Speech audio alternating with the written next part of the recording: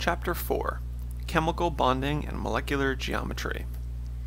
We'll begin with section 4.1 Ionic Bonding. So we touched on ionic bonding a little bit at the end of chapter 3. So ionic compounds are formed by ions. Ions are formed by the transfer of electrons from one element to the other. So with that example we looked at at the end of chapter 3, sodium chloride. Neutral, a neutral sodium atom has 11 electrons and 11 protons. And so as we learned in the last chapter, sodium likes to lose one electron and become the plus one sodium ion. Now if we look at chlorine, neutral chlorine has 17 electrons and 17 protons. Chlorine likes to gain one electron to become the chloride anion, so these two are a perfect match. Sodium will transfer one of its electrons to chlorine, which forms the sodium ion and the chloride ion. So now we've got sodium ions, we've got chloride ions, and these two ions bind together because of the electrostatic attraction, because the opposite charges attract one another. This is what forms the sodium chloride crystals that we see in table salts. So positive and negative ions are held together by electrostatic attraction, which forms a three-dimensional crystal lattice structure. Now the formula here, NaCl, simply refers to the ratio of sodium ions and chlorine ions. It's not quite the same as with the molecular or covalent compounds where the formula may actually tell us something about the bonding itself. It just refers to the ratio of the ions here. So NaCl means one sodium ion for every one chloride ion. Just to recap, the electronic structure of ions, recall from chapter 3, when you make an anion, you add electrons using filling rules. And when you make a cation, you take away electrons from the highest end first, and just be careful with transition metals here if you're making a cation. Okay, so that is actually it for section 4.1. We're going to go ahead and combine uh, section 4.1 and section 4.2 together since 4.1 is so short. So moving into section 4.2, covalent bonding. So covalent bonds, they are formed by the sharing of electrons. So for example, H2 is the chemical formula of the hydrogen gas molecule. Now H2 is formed when one electron from each hydrogen is shared in between these hydrogen atoms.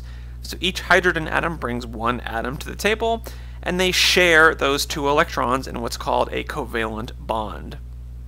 Now covalent bonds are formed because of the net result of the attractive and repulsive electrostatic forces.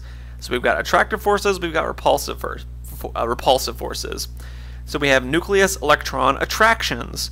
So the nucleus electron attractions. So this nucleus is attracted to the electrons from this atom. This nucleus is attracted to the electrons from this atom. So those attractive forces are greater than the repulsive forces because these nuclei, which are both both have protons in them, those positive charges are repulsing each other, and then the negative charges from the electrons in bo of both atoms. This is also a repuls repulsion force. But the nucleus electron attraction force, uh, they are greater than the repulsion forces. This results in a net attractive force that holds the atoms together to form a molecule. So this is what forms covalent bonds. All right, now we're going to take a brief detour here and we are going to talk about electronegativity before we get into uh, the polarity of covalent bonds.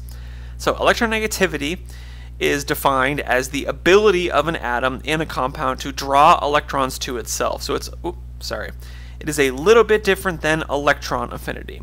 Electron affinity is the energy released or absorbed when an atom gains an electron. So an electron affinity is the energy released or absorbed when an atom gains an electron, whereas electronegativity is simply the ability of an atom to draw electrons to itself. So there's a slight difference here, and this is illustrated most clearly with noble gases. Noble gases, they all have very low electron affinities because they do not like gaining electrons. However, krypton and xenon, they can form compounds because they have a lot of d electrons, so they actually have a relatively high electronegativity. So when something like krypton or xenon gains an electron, it would require probably a lot of energy to be absorbed. It's a very unfavorable process, so noble gases, they have very low electron affinities. However, they have the ability to draw electrons to themselves, which is why they have relatively high electronegativities. So that can be seen here with krypton and xenon, which have relatively high electronegativity values. Now, electronegativity, it follows the same trend as ionization energy and as electron affinity. It increases going left to right across the periodic table, and it increases going bottom to top up the periodic table. So elements towards the top right have the highest electronegativity values.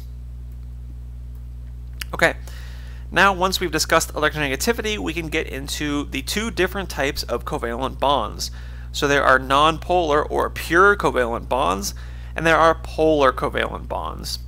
These nonpolar covalent bonds are formed when two atoms of the same nonmetal or nonmetals that have very similar electronegativity values share a bond. So because these atoms have either similar or the exact same electron electronegativity values, the electrons are shared evenly between the two atoms. So for example, chlorine gas it's two, two atoms of chlorine joined together to form this chlorine molecule, um, chlorine molecule here. So because these two chlorine atoms have the exact same electronegativity, they share these electrons in the covalent bond evenly. Now with polar covalent bonds, they are made by two different nonmetals with a significant difference in electronegativity values. Because they have different electronegativity values, they want electrons more or less than each other, and electrons are shared unevenly. For example, hydrogen chloride, HCl. Chlorine is much more electronegative than hydrogen is. It wants the electrons more, so it will pull these electrons in the bond closer to itself, so the electrons are shared unevenly. So we can think of this like a tug of war. If we have two of the exact same atom, or two atoms that have very similar electronegativity values, they pull on the electrons in the bond evenly. So it's like a game of tug of war where both sides are pulling with the same strength. And so the electrons stay in the middle. They are shared evenly between these two atoms. Whereas if we get something like chlorine, which wants electrons much more than hydrogen does, we can think of like it, it's much stronger than hydrogen is, so it pulls those electrons towards itself, and so the electrons are not shared evenly anymore, they are shared unevenly. Chlorine is pulling those electrons towards itself. Alright, let's try a knowledge check question. Classify the OH bond in CH3OH as ionic, polar covalent, or nonpolar covalent.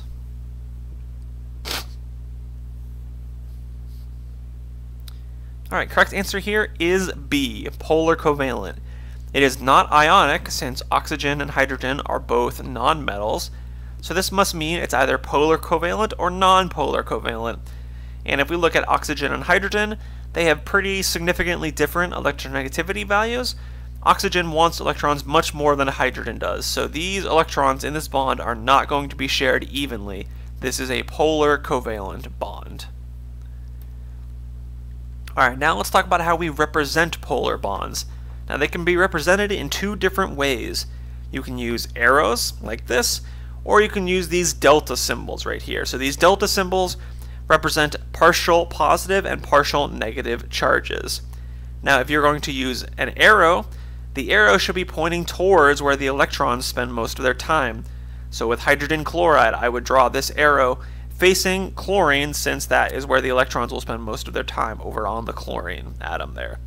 Or if I was going to use partial positive and partial negative charges, I would put a partial positive charge over hydrogen since it's lacking electron density a little bit, and I would put a partial negative charge over chlorine since chlorine has a bit more electron density around it.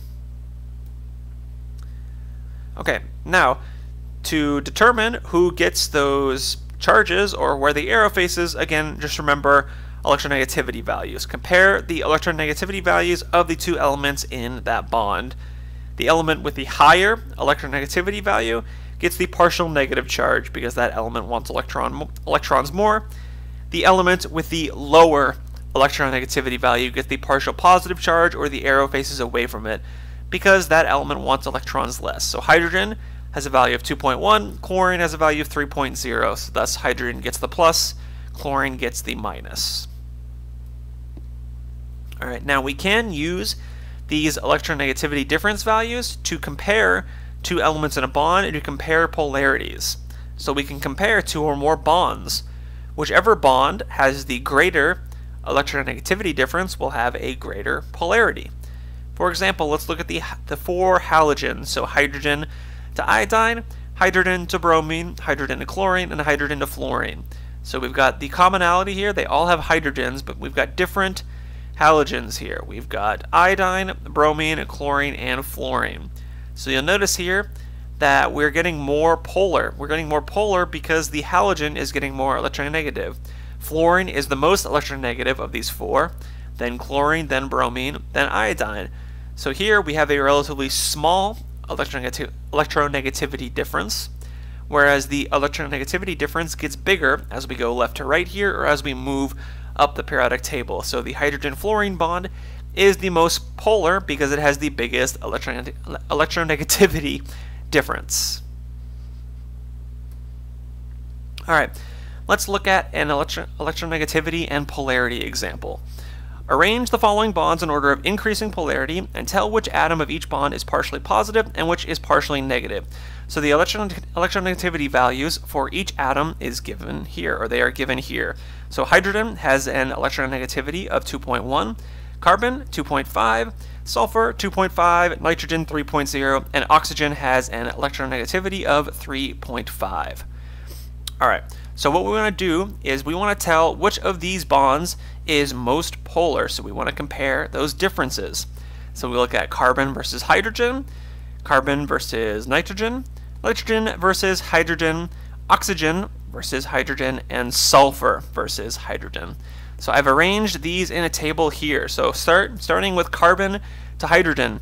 Carbon, its electronegativity is 2.5. Hydrogen, 2.1.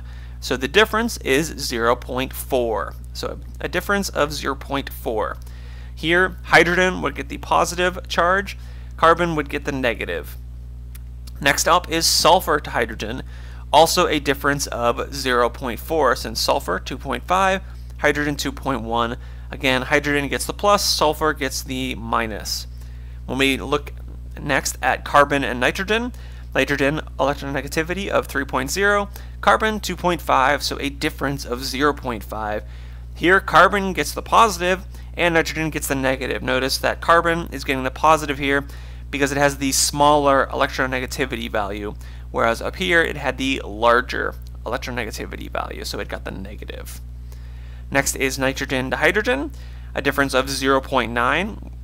Here hydrogen gets the plus, nitrogen gets the minus, followed up by carbon to oxygen, a difference of 1.0, and finally oxygen to hydrogen, 1.4. So here, the most polar bond out of these six is the oxygen to hydrogen bond, because those two atoms, those two elements, have the biggest difference in electronegativity, 1.4. Alright, now let's just think about how we use the periodic table here. Now we have three types of bonds. We've got, again, those non-polar covalent bonds, which have two of the same nonmetal or nonmetals with very similar electronegativity values. We've got polar covalent bonds, two different nonmetals with sufficiently different electronegativity values, and finally ionic bonds, which are metal and nonmetal. So we group these bonds into these three categories. However, really it is more of a continuum between nonpolar covalent and ionic because there are many different values for electronegativity differences. We are just kind of arbitrarily putting drawing these lines in ourselves, but it's really just more of a continuum here. Okay, so the general rule we're going to use is that for a bond to be considered nonpolar covalent, we are going to say that its electronegativity difference has to be less than 0.5.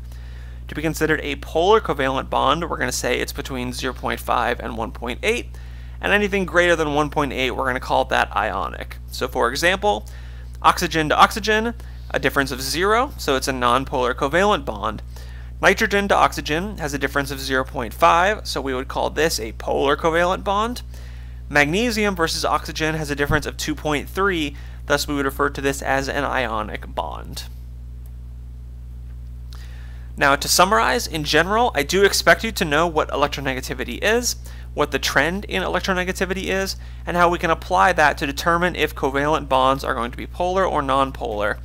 However, I am not going to expect you to memorize the actual numeric electronegativity values, and if I ask you a question like that, a table with the relevant values will be provided. So you may be asked to explain the general trend and to look at differences between atoms, but you will not be asked to memorize the actual numeric values.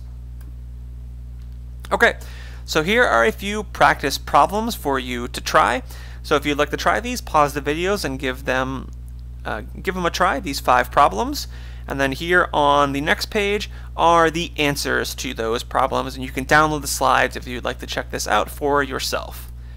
So that concludes section 4.2. I'll see you in the next video for section 4.3, Chemical Nomenclature.